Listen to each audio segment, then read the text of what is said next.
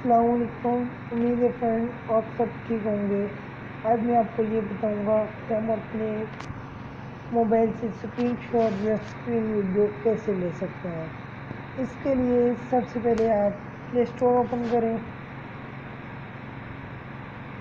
Play store open करने के बाद आप गूगल प्ले पे सर्च करेंगे स्क्रीन रिकॉर्डर स्क्रीन रिकॉर्डर में जाके आप डी यू रिकॉर्डर इंस्टॉल करेंगे।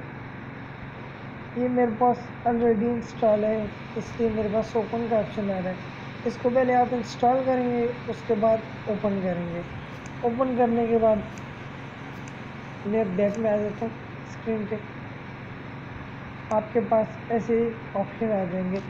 सबसे ऊपर वाले से आप स्क्रीन रिकॉर्ड कर सकेंगे, सबसे नीचे वाले से आप स्क्रीन की पिक्स ले सकेंगे। किसी भी चीज़ की। आप अगर वीडियो गेम खेल लें, उसकी भी आप पिक्स ले सकेंगे। अगर आप कोई और एक्टिविटी कर रहे हैं, उसकी भी आप स्क्रीन पिक्स या स्क्रीन शॉट ले सकेंगे। थैंक यू अगर आपको ये वीडियो पसंद आई तो मेरा चैनल सब्सक्राइब करना मत भूलिएगा।